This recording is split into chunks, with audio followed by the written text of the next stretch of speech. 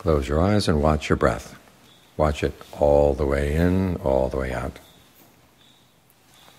This is work you've got to do for yourself. Nobody else can watch your breath for you.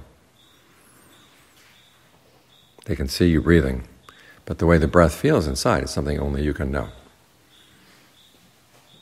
The way your mind feels from inside is something only you can know. But it's important to remember this isn't the only area of the practice.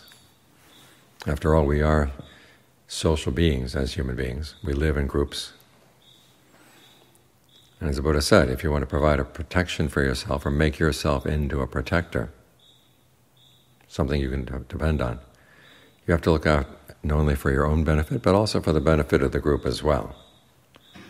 That's why the Buddha said one form of protection is you learn the duties that have to be done in the group and you learn how to do them well and with ingenuity.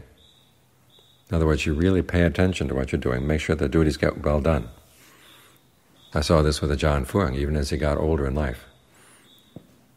He'd come around the monastery, if there's anything that wasn't quite right, he'd fix it, put it in its place. Which of course created a good atmosphere for the group as a whole. Ajaan is doing that, other people should be doing it too. Then there's that principle that the way you do anything is the way you do everything. Ajaan Mahabua talks about how important it is to do your outside duties with a lot of intentness. So you develop that quality of being intent, being true to your duties, looking for what needs to be done that maybe you haven't been told to do, but you see it needs to be done and you're happy to do it. Because the same principle applies inside. There's not going to be somebody sitting on your shoulder all the time as you meditate telling you what to do. You've got to see what needs to be done. You've got to be intent on what you're doing. And you have to show some ingenuity and figure out how to solve the problems as they come up. So it's good training for your inner training, the outside duties you have to do. Learn to do them well, because it's good for the group, and when you have a good group, it's a good place to live. And whenever you fall into hardship, the group will be happy to help. There is that story of the monk who fell sick in the time of the Buddha, and nobody cared for him. The Buddha had to go himself, together with Ananda.